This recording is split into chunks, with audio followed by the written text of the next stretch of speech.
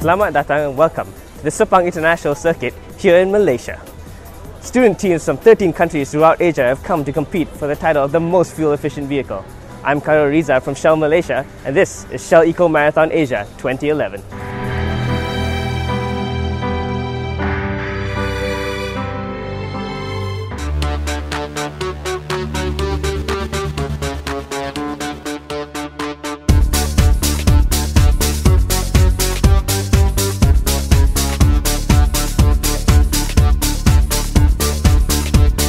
guys think like just uh, arriving here on the first day?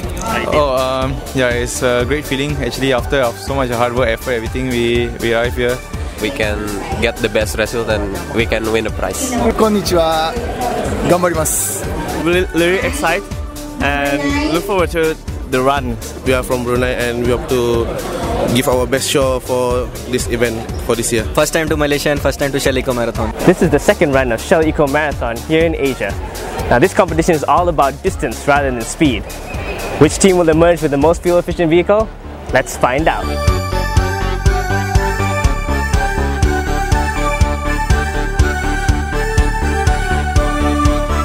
Well, the Asia competition is great because it's brand new. This is only the second year, but at the same time, I think uh, people will be interested to know it's not that much different. There's uh, great innovation in Europe, there's great innovation in Americas, and great innovation in Asia, along with passionate students who really want to help us meet the world's energy challenge.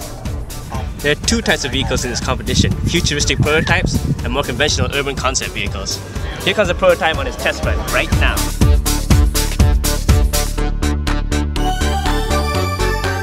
I think one of the exciting things about Shell Eco Marathon, and especially here in Asia, is just to see some of the ideas around technology, around innovation, as it pertains to transport, mobility, uh, getting most efficiency out of vehicles, that these students are able to, to, to bring to the competition. And when you walk around the pits and, uh, and you talk to the teams and you look at their cars, and uh, it gets very exciting to think about where some of these ideas may go over the next 5, 10, 15 years as, as these students become you know, engineers in, in either the fuels business or the auto business or wherever they end up.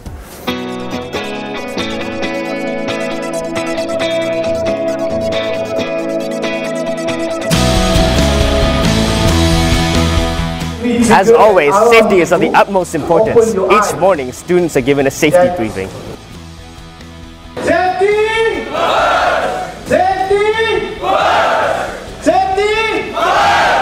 I think what's been good this year is that having gone through the program last year, many of the students that have taken part or the schools that have taken part more aware of how they should be putting safety first. And that for us is a very key aspect of this program. We're looking for goal zero and I think we have no incidents so far and that's been really good. So I'm really very proud of the teams, very proud of the way in which the organizing committee has been able to bring that safety message across. So it's been fantastic. We're here at the technical inspection area. Each vehicle must undergo stringent scrutineering. It's a crucial step as the teams won't be able to go out and run on the track until they get through the technical inspection.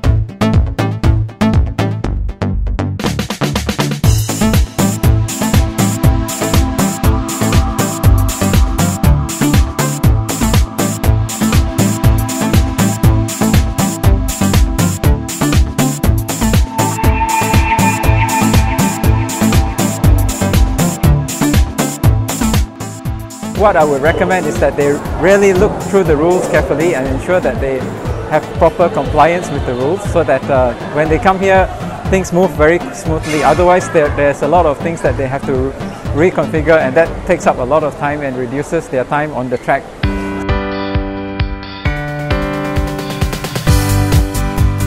This year, we're fortunate enough to have CEO of Royal Dutch Shell, Peter Voser, to flag off.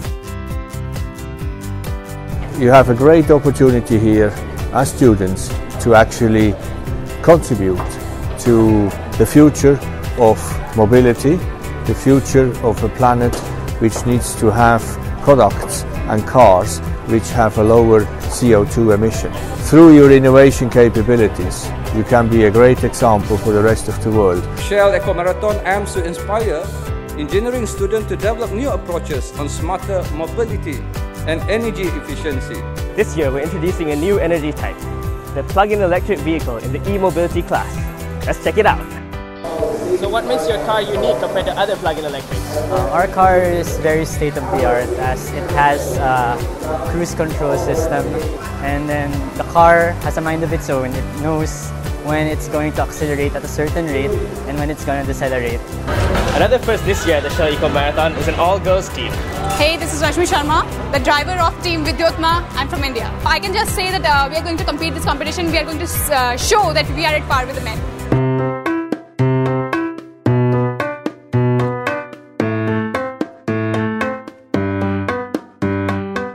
It's more to this event than just a competition. It's also a place to meet new friends, learn new things, and have fun.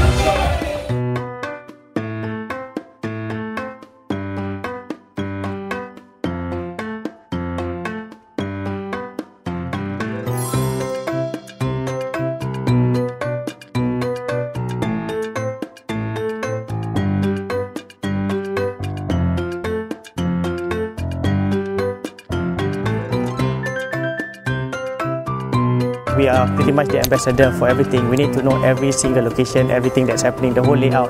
It's a fun event, a happy experience as well. There are over 170 volunteers from nine countries this year who helped out to make sure that Shell Eco Marathon Asia 2011 will be a success. Today is the last day of the competition, and the student teams are doing all that they can to set their highest fuel efficiency record. This is the most challenging part of the course as a steep incline followed by a turn. As you can see, a lot of cars tend to stall here.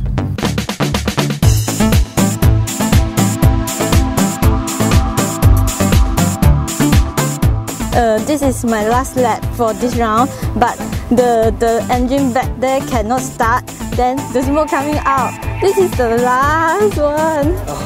Um, I have trouble with my fuel system. My fuel system has been leakage. Oh, okay. Yes. mm. So what?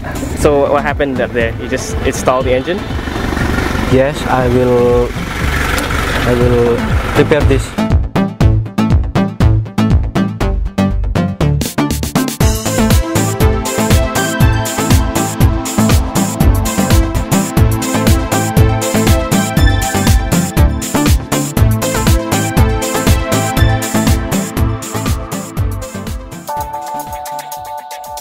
I'm here with the team currently leading the pack. Let's have a few words with the team manager. And what's the secret to you getting such a great score? The first one is the, um, the body of the car. We have the lightweight of the body. And second one is the engine itself. We have some controller to control automatic injection. That's why we can use a less fuel. The third one is the driver. He has quite skillful and know the engine really well. So he can manage to, to use less energy to, to drive this time.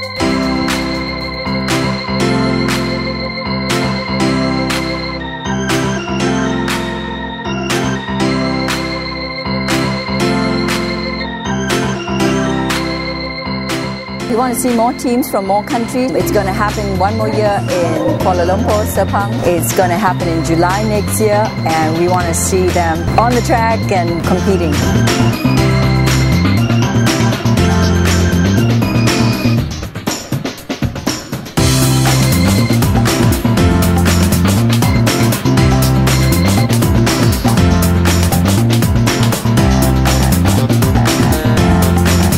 End of four grueling but exciting days of competition, the time has finally arrived to recognize the big winners of this year's Shell Eco Marathon Asia. Well, that about wraps up our coverage for Shell Eco Marathon Asia 2011. This has been Khairul Riza from Shell Malaysia. We'll see you guys next year at Shell Eco Marathon Asia 2012. Bye!